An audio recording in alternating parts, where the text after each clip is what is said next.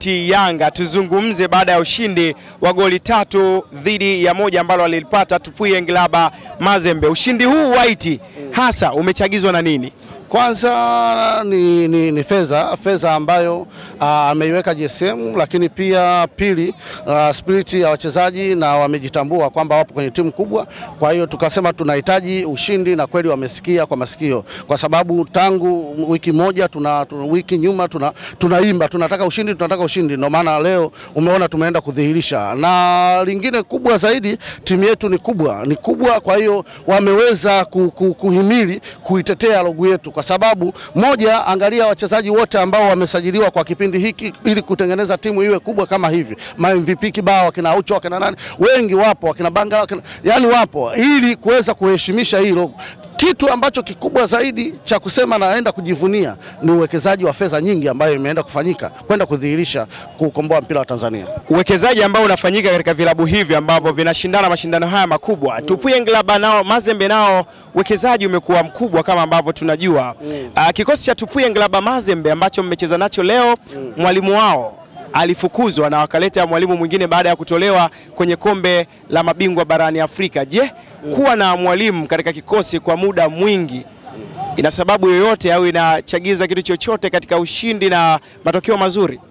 Aa, ninaweza nikasema hilo ni jambo zuri kwa sababu moja, huwa tunatengeneza kikosi. Kocha au mwalimu wa mpira kukaa kwenye sehemu ndefu, inawezekana nyinyi mkao na malengo gani? Sisi tuliweza kuvumilia kwa Nabi, amekaa miaka mitatu, misimu miwili nyuma, msimu mmoja wa kwanza na huu ambao tayari na anaenda kumaliza, ili tu kuweza kuangalia kutengeneza combination au chemistry kwa wachezaji mmoja mmoja. Ndio maana hata usajili uliopita tulisema kwamba hatuhitaji hatu mawazo yoyote au kitu chochote ambacho kinaweza kikaharibu eh, kitu cha, cha, cha program za mwalimu, tukaona tumwachie. Ndio maana alienda akaanza kuongeza, unaona, akaongeza wachezaji kutumia magepu ambayo alikuwa anahitaji.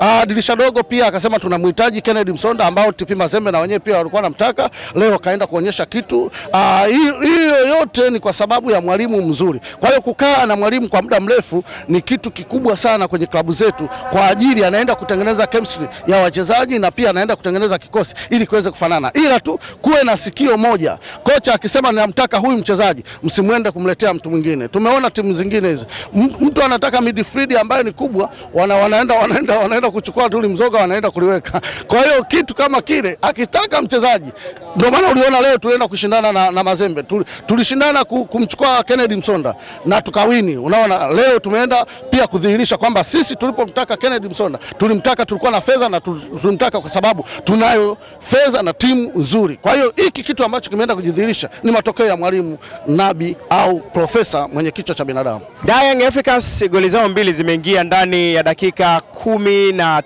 tano mm. zile za mwanzo mm. kisha baada ya hapo Tupuye Ngilaba Mazembe mm. kuna sabu ambazo walizifanya kabla ya kwenda mapumziko. mm. Zile sabu kwa namna moja au nyingine, kama zilikuja kuharibu plani mm. ya mwalimu Nasiruddin Nabi mm. na mna mechi e, ya ugenini pia dhidi yao Tupuye Ngilaba Mazembe, mtakwenda kule kwao. mm. Hii haijawapa alamu yoyote katika ile transformation ya kikosi ambacho mwalimu Nabi alifanya na sabu zile ambazo walifanya Tupuye Ngilaba Mazembe na mpango kazi ambao walikuja nao baada ya kuzifanya zile sabu.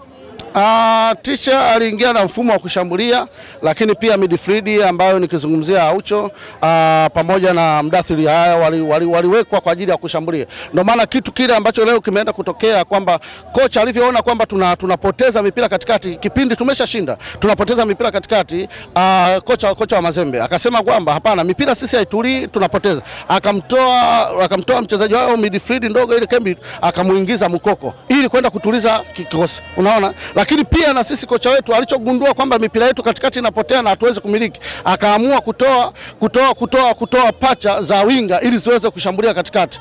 Kama ukaona akaweza kumuingiza Ziziki ili awe anatokea mbavu ya, ya kushoto, pia akamuingiza uh, Kisinda ili awe anatokea huku. Hiyo yote ni kwa ajili ya kufosi kushambulia. Unajua kila timu uh, ina, ina mfumo wake, lakini kwenye upande wetu sisi tumeona kocha alitaka kushambulia, alafu baada ya hapo tuweze kumiliki mpira. Ndio hicho kitu ambacho ninaenda kujivunia anajivunia. Profesa ni kocha wa mpira, anajua kabisa sasa hivi tumezidiwa, tutoe fulani tuweke fulani, ili tuweze kufanya kitu ambacho ni kizuri. Kama leo umeshaona Bangala ameshatoka, Zawadi Mawia anaingia, lakini pia unaangalia ah, Clement Mzinza anaingia, kitu ambacho anaenda kukifanya cha kuweza kushambulia, kuongeza nguvu mbele, ili tuweze kunani. Lakini japo timu ilikuwa imezidiwa kona, ukihesabu kwa haraka haraka, wale jamaa wamepiga kona nyingi sana, kwa sababu kitu kimoja ambacho walikuwa na force, lakini tukasema tukiendelea sisi kuzuia bila kuweka forward ambazo zenye nguvu na za, za kuforce magoli tunaweza tukapoteza. Kwa hiyo ndio kitu ambacho ameenda kufanya, akaingiza winga zenye spidi, pia akamwingiza Clement Mziza ili aweze kuforce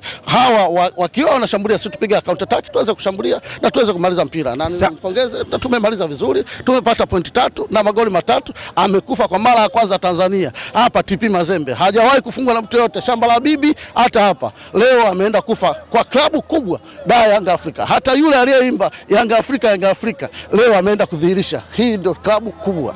Asante sana. Huyu ni Waichiaga, tumezungumza naye hapa, tumeongea mambo mengi kwelikweli ya kiufundi, kimbinu na kitaalamu ambayo Young Africans yamewafanya washinde mchezo wa leo. Mimi ni newcomer Dennis Mbongo, nyuma ya kamera anaitwa IMD Juma. Bado tuko tuko sana hapa kwa Mkapa, kazi iliyotukuka kuhakikisha tu yote yanakufikia wewe mtazamaji wa Super TV.